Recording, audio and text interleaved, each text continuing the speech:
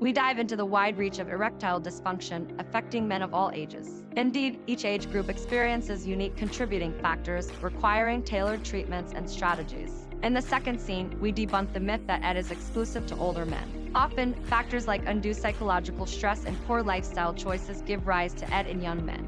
Next, we focus on middle-aged men where both mental and physical factors come into play. Additionally, certain age-related diseases add to the severity of ED. In our fourth scene, we shed light on why ED is most common among elderly men.